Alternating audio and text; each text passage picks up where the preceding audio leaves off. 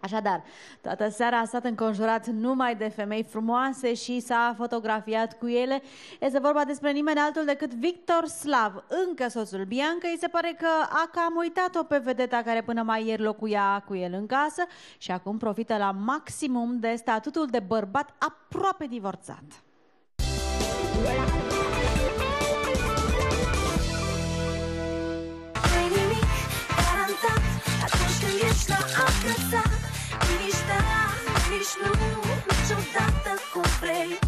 De când a băgat actele de divorț, soțul roșcatei gustă distracția din plin, dar mai ales compania domnișoarelor frumoase. Îmbrăcat la patru ace cu un costum albastru și o cravată colorată, băiatul de la Meteo parcă le-a vrăjit pe toate divele aflate la un eveniment monden.